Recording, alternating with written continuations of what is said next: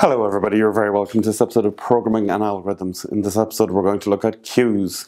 We're going to look at the, it's an abstract data type called a queue, and we're going to look at how to implement it using an array. So I guess everybody here knows what queues are about, because we've all been there. You stand at the back, you wait until you get to the front, and then you get served at the front. So that's a, a, a simple queue there. That's a Hmm, it's a monster queue there or something like that. Okay, so a monster queue. The principle is the same. The dragon comes in at the back, but the dragon or gargoyle at the front has to get served first. That's the principle of a queue. We call that principle FIFO or first in, first out, F-I-F-O. So if I join the queue first, then I'm the first person to get served. If you join the queue next, then you're the next person to get served. Whoever is at the front of the queue is the person who gets served. As we can tell, it's the opposite of a stack. A stack, last in, first out a queue first in, first out. So as we looked at a stack vertically, we can look at a, a, queue horizontally. It's a typical array. There's our array of numbers. The only thing about a queue is it has a front and a back. If I want to add values, where do they go? They get added to the back. If I want to take them away, they get taken away from the front. If I want to add the value 86, it gets added to the back. If I want to take away a value, I, the only value I can take away is number 31 at the front. That's the rule. That's how it works. So it's the same as an array, except we add a few rules on our constraints. And our constraints are add to the back, take away from the front. And if we think about a printer queue, for example, when I'm printing stuff, if there's three of us in a room and we all print a, a Word document at the same time, whoever clicks print first that goes to the printer queue first, and that gets printed first. Whoever clicks print second gets done second. Whoever clicks third gets done third. So the order in which you join the queue is the order in which you're served. So printers have queues connected to them, which means if I'm taking in multiple jobs, I do them in the order in which uh, they arrive. First come, first served, or first in, first out. So if we want to implement a queue using an array, we create an array called queue. The maximum length of the queue is max size, and unlike a stack where we only have one pointer stack top, we need two pointers or two um, variables. One is called head to represent where the front of the queue is, and one is called tail to represent the back of the queue. We could give these any names at all we want. We could call the array banana, we call the maximum size of the variable dustbin, we call the front of the queue chair and the back of the queue coat, but we're giving the variables sensible names so that we're able to um, understand exactly what's going on. But nonetheless, the names have no special meaning. You know yourself when you create a variable, you can give it any name you like. But we, we tend to want to give variables good, good names that help explain what's going on. So let's look at a simple simulation of a queue. Let's say the head is at the zeroth element and the tail is at number three, or the fourth element. If I want to add a value on, that means I add it to the tail. So that means I add, goes to, from number three to number four. I can add another value on, and it goes from number four to number five. And then if I want to serve or take care of a value, pop a value out, as you'd say in a stack, then we take it off from the head. The problem with this is if I add another value on to the tail, it's full, then I can't add anything else to the queue. So uh, the, the maximum size of the queue limits exactly how many values you can add on. Um, once you've reached the tail of the queue, there's nothing else you can do. You can't take values off the back, so then it's full once you've added that number of values on. And no matter how, value, how many values you take off the head, it doesn't matter. It's still full once the tail has reached max size plus one. So once we've gotten there, that's it. The queue is full. There's nothing else we can do. So that means if I'm creating a queue using an array, generally speaking, I make the array massive. Or I can do some other tricks as well. So let's have a look at the code. If we want to implement the queue, as we said, we declare an array called queue, a head and a tail, and a max size. Let's look at it in pseudocode. Uh, queue is 7 in this case, it's the same kind of thing as the stack. The maximum size is 7. In this case, we've created a queue that's already full. the head is pointing to 0, the first element of the array, and the tail is pointing to 6, which is the seventh element of the array. So the queue is full.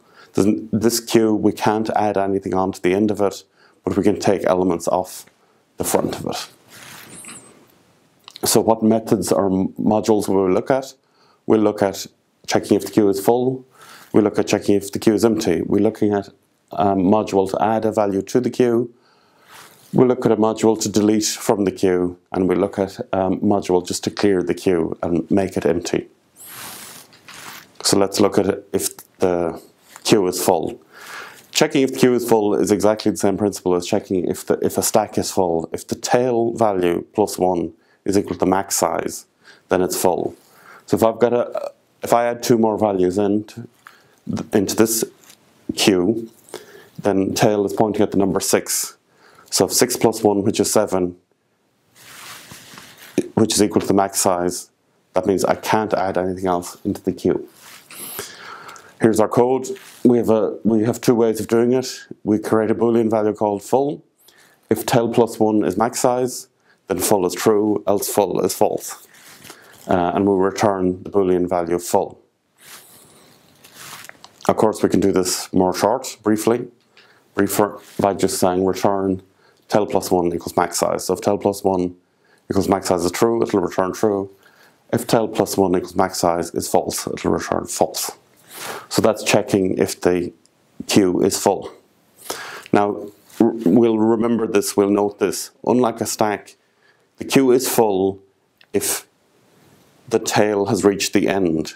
I could have deleted a lot of elements off the front, but nonetheless, if the back of the queue has reached the maximum size plus minus one, that's it. The queue is full. There's nothing else we can do with it.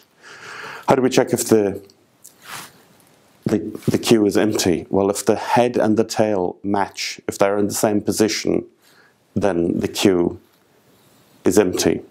So let's say I take the head of the queue and that moves back one from zero to one, take another element off, and it moves from one to two, take another element off, then it moves from two to three, and then I take another element off, moves from three to four.